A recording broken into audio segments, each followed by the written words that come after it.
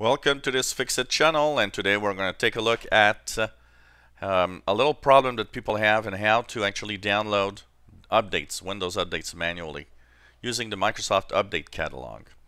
Now Windows updates, when they go well, they go well and that's cool and usually they install through the update process of your computer. But it can happen that a update will get stuck. It doesn't want to install, it doesn't want to work. What do you do? Well, you can actually install updates manually when they fail to update uh, automatically through Windows Update. To do that, you will need to use the Microsoft Update Catalog. One little thing that you need to know is that, the, you know, it's one of those very weird and idiot things that Microsoft sometimes does. The Microsoft Update Catalog only works in Internet Explorer 11, so you cannot use any other browsers to go there. By the way, the um, URL for the update catalog, which is catalog.update.microsoft.com, will be in the description below the video. So now, what do you need to know to download the correct update? Well, in Windows 7, of course, you will see that your Windows updates, what it what failed. Uh, in Windows 8, Windows uh, also. In Windows 10, you've got the uh, information also on the updates that will have failed. What you need to know when an update gets stuck is which one has a problem installing. Each update has a catalog number, which is that KB number. KB 318-9866, for example, is the one that I have the latest.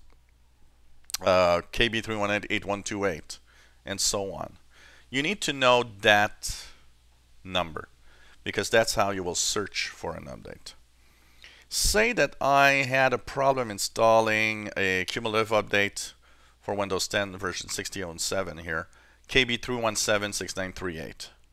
Well, all I have to do is go into the update catalog and type KB317, I believe it's 6938, 6938.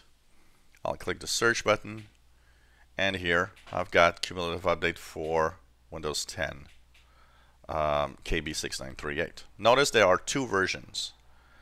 There's a version x64 and a version which is the 32-bit version. So you need to know which version you will need. So for any type of updates, you'll need to search on this list because sometimes there's multiple operating systems. So you'll have to search the version for what version of Windows you have uh, what version of Windows 10, for example, also that you have. So 1607 with the anniversary update or 1511 November and so on. So you have to choose the correct version. Once that is done, what you do is you click the Add button and it will appear in the View basket. There you will click the View basket. You will click Download. It's going to ask you where you want to download it. So you'll click Browse and I'll say for example desktop I'll click OK I'll click continue.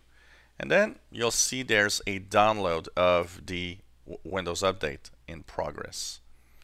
So for example that's one. I will actually stop this one but I already have one in my desktop that I downloaded earlier.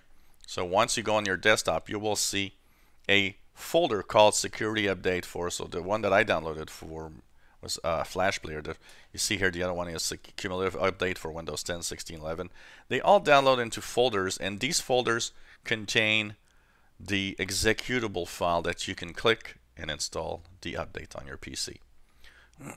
Chances are you'll be able to uh, install most updates that didn't go through in the Windows update. So that's one way that you can actually manually install manually install updates.